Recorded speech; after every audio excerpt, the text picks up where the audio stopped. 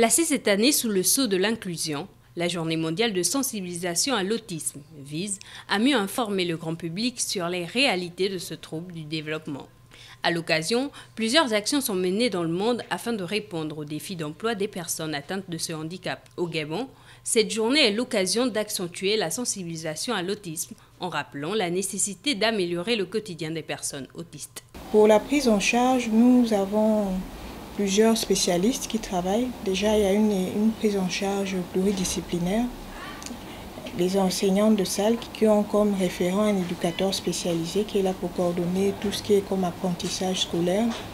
Nous avons des spécialistes comme les orthophonistes, les psychomotriciens, le psychologue, euh, le kinésithérapeute et l'éducateur spécialisé. Une grande partie des enfants TSA ont des problèmes de langage, d'hyperactivité et ce sont tous ces spécialistes-là qui travaillent ensemble pour euh, la prise en charge. L'autisme, ce trouble neurologique qui dure toute la vie, se manifeste durant la petite enfance, sans distinction de sexe, de race ou de situation socio-économique. Euh, au Gabon, c'est un trouble qui est encore euh, mal connu. Beaucoup de parents, lorsqu'ils arrivent, ils ne savent pas exactement ce, que, ce dont souffre leur enfant. On a beaucoup d'interprétations autour de, des comportements atypiques que présentent ces enfants-là.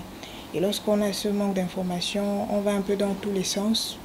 Déjà sensibiliser les parents et puis le, le, personnel de santé aussi qui peut aider dans le diagnostic précoce. Il est donc nécessaire de mobiliser les acteurs afin de mieux accompagner les personnes différentes en rappelant à tout un chacun que les autistes sont des citoyens à part entière.